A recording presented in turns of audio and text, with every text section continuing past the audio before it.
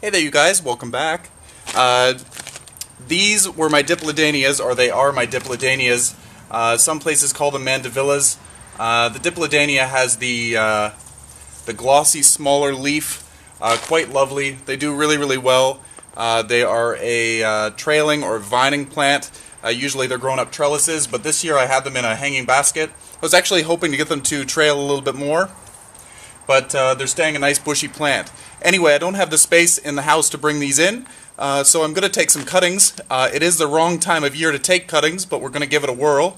Um, so anyway, uh, they do best with taking soft wood cuttings. So those are the ones that are all just green wood. Uh, no, uh, no dark brown woody stems will root for these. Um, but never say never. Sometimes, uh, sometimes things happen that are out of the norm when dealing with plants. So anyway, uh, they say to take cuttings in uh, late spring, early summer. It is fall. The nighttime temperatures are dipping way down. Um, but like I said, either either I just let this whole thing go to uh, get taken by frost, or I could try to take some some cuttings. Like I said, also I don't have space downstairs, which you'll see the the grow space, or maybe you already have. I'm not sure when I'm going to upload this video, but uh, let's uh, let's attempt to take some cuttings from this. Should be fun. I'll keep you posted on how they grow. Uh, so anyway, let's take some cuttings.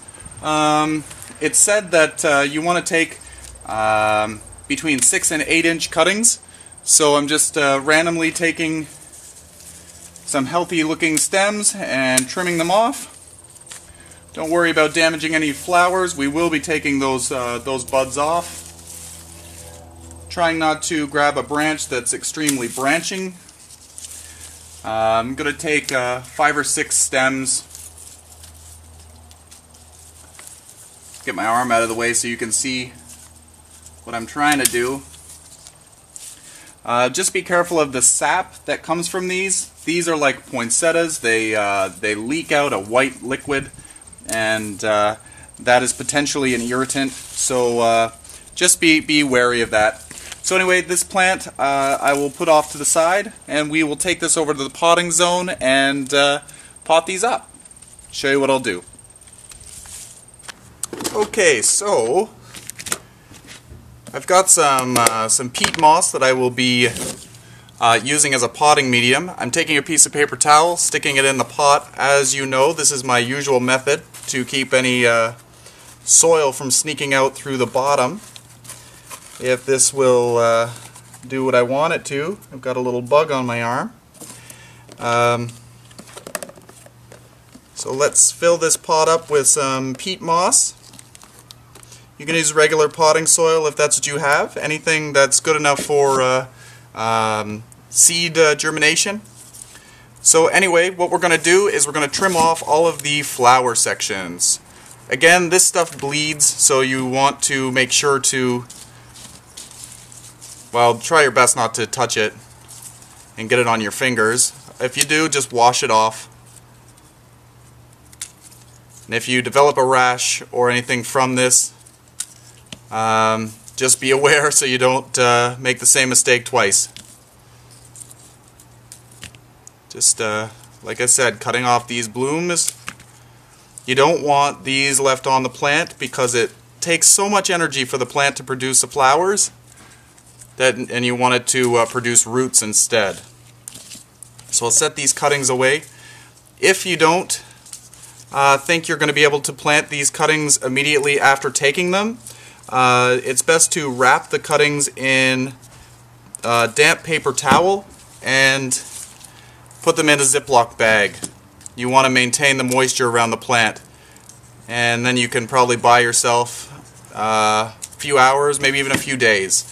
So anyway, all the flowers are removed from these cuttings, all the buds as well. Oh, I got this one. I didn't see this one.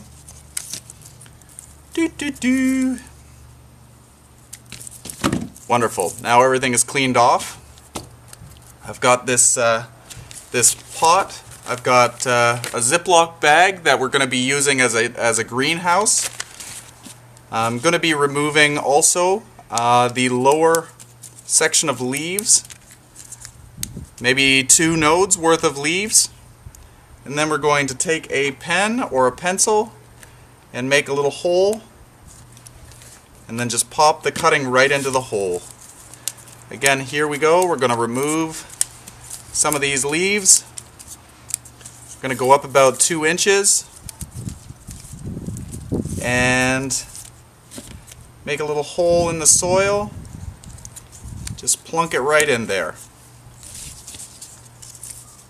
This one's got all kinds of side growth. I would just uh, remove the side growth. We don't want it uh, using up too much of it, uh, too much of its energy. Make another hole here with the pen or pencil. And we got two more here. Like I said, I'm going to uh, keep you posted on this, see how it grows fingers crossed because I really enjoy these plants. They're not terribly expensive to go out and buy, but uh, still, if you could do it for free, that's even better. So I'm going to get some water here.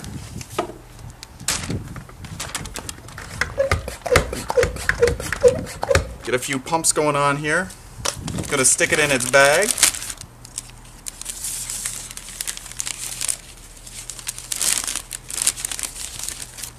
I'm gonna give it a drink. It's good that these stay moist.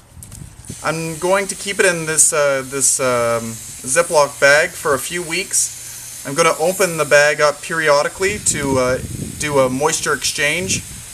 Uh, make sure it's still watered, uh, moist, as well as I don't want the uh, the humidity to get too too high. I want to open it up and give uh, give some fresh air to these cuttings. Um, in about a week's time, I'll probably uh, half open the Ziploc bag. So for, for a little while, it's going to be completely sealed. In about a week's time, I'm going to just open it up just like so, so that there's uh, some airflow, and uh, it's still going to keep a lot of humidity in there. Um, I'm also going to keep this with uh, some bottom heat. I have uh, a heat mat downstairs I'm going to keep it with that. If you don't have it, just leave it in a warm spot. Uh, under my grow lights is a nice warm spot, but I'm going to keep it with some bottom heat. That should help things out a little bit better. Anyway, like I said, I'll keep you posted on these. And uh, anyway, stay tuned for more updates, and uh, happy growing. Tends to produce uh, flowers on the growth tip, so as it tries to grow, it might try to produce uh, flower buds. So just be aware of that.